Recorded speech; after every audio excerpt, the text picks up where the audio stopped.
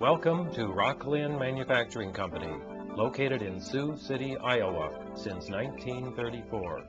Rocklin is an established manufacturer of industrial electronic equipment.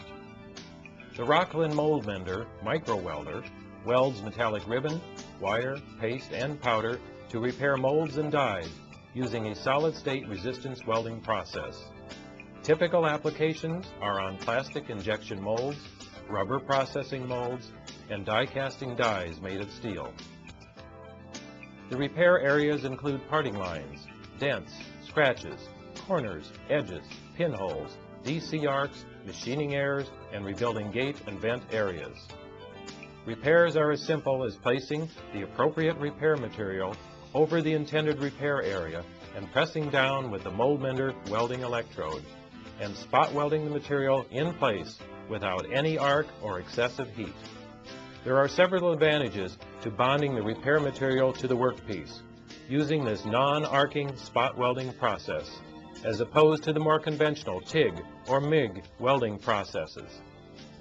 Much less heat is applied to the workpiece. This eliminates distortion, sink, or witness lines. There is no splatter on adjacent areas. No preheating or heat treating afterward greatly simplifies the repair process. This non-arcing welding process makes welding helmets unnecessary. The low voltage output makes the MoldMender safe and convenient.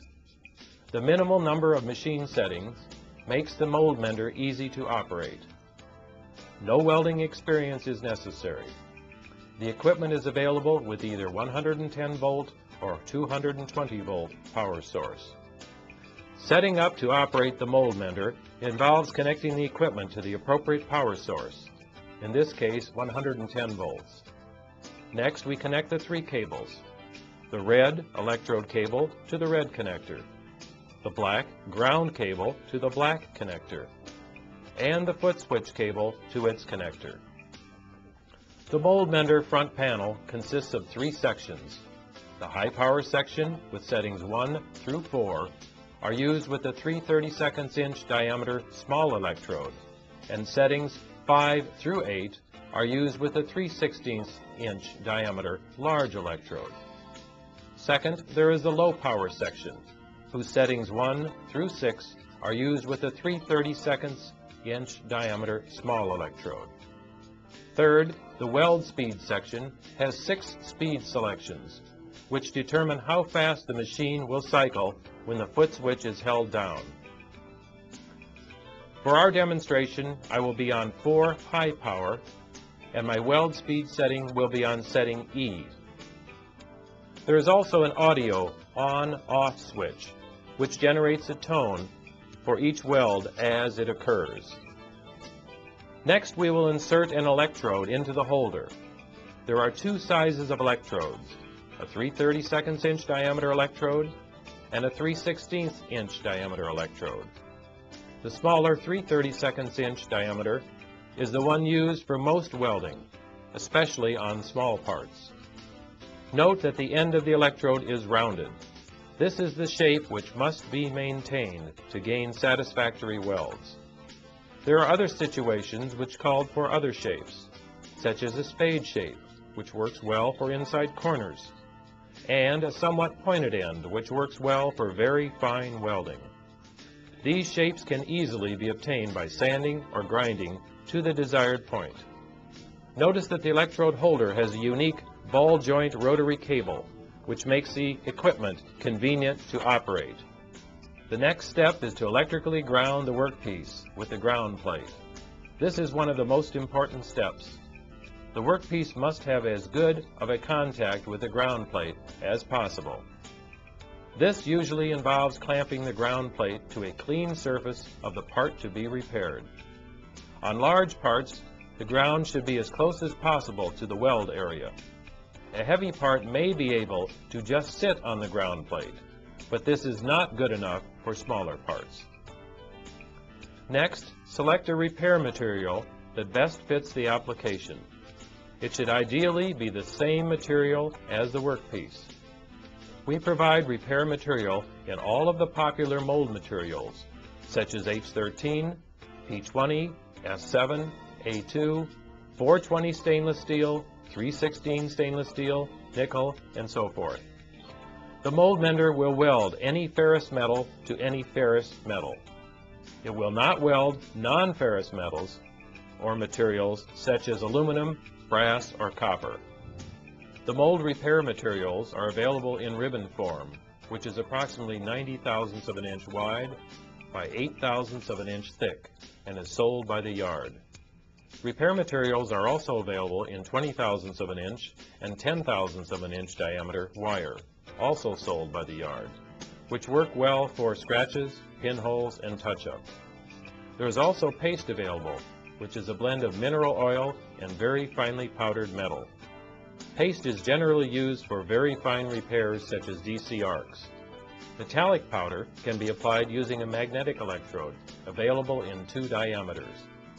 I will be doing an example of a repair on a mold parting line of a plastic injection mold using ribbon material.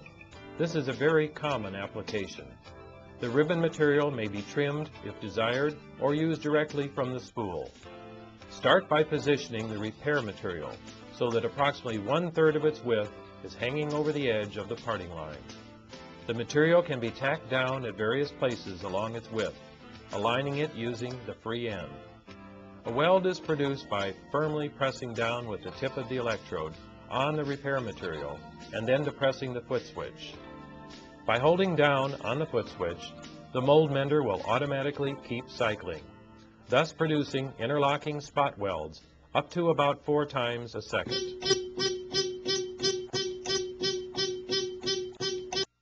When a curved area is encountered, the repair material can slowly be formed around the curve using slight pressure on the free end of the repair material. Each time the MoldMender makes a weld, the repair material is momentarily plastic, allowing you to slightly realign the repair material to follow the curve. Notice that to make a continuous weld, the electrode is rolled slowly enough so that each successive weld overlaps the last. This will bond approximately a 1 32nd inch diameter spot each time the unit is triggered. Now go back over this area where the repair material is tacked using the rolling technique to make certain that the material is totally bonded. It doesn't hurt to go over an area that is already welded. So look for any areas that look like they may have been missed. The repair material is in the annealed state before welding, but will be in the hardened state after being bonded in place. It should also be noted that the actual welding is done with the rounded tip of the electrode. Lying the electrode down and welding with its side may increase its contact area and substantially reduces the weld penetration and may produce an inferior weld. An exception to this is now when I want to go back and fold this weld material over the parting line. I can use the side of the electrode along the edge of the repair material. Working on a corner like this requires firm pressure with the electrode to prevent excess sparking. Setting the power to a lower setting can also help. Use the side of the electrode, slightly tipping the handle ahead in the direction that you want to roll it to ensure that the material folds down and not up. This procedure can be repeated as many times as is necessary to form the repair material to the proper shape and minimize finishing as much as possible. Successive layers of metallic ribbon may be welded on top of another. Take care to ensure that each layer is fully adhered to the layer below it before proceeding to the next layer. The repair that is produced is both hardened and permanent. Finishing can be accomplished by any of the standard methods such as grinding, machining, EDMing, plating, polishing, etc. Many of the repairs can be made without pulling the mold from the injection molding machine, thus enhancing production. The 10 and 20 thousandths inch diameter wire, metallic paste, and also metallic powder can be welded to the workpiece in a similar manner to the metallic ribbon which has been demonstrated. For instance, small pinholes and DC arcs may be easily repaired using the metallic paste. Place a small quantity of the paste in the pinhole. Place the electrode so it is positioned in the pinhole and trigger the machine. Next, slightly lift the electrode, allowing more paste to fill the hole. Press down with the electrode and again trigger the machine. Repeat this process until the pinhole area is built up above the surrounding area. Wipe the area clean and then go back over the area, treating the repaired area using the same rolling procedure as described above for a piece of ribbon material. This ensures a dense repair that will finish off exactly like the surrounding mold or die surface. The MoldMender weighs just 65 pounds and is very portable, allowing repairs to be performed anywhere in the shop. All units are shipped complete, including accessories, welding materials, and instruction manual. For more in-depth information about the MoldMender, please consult the instruction manual.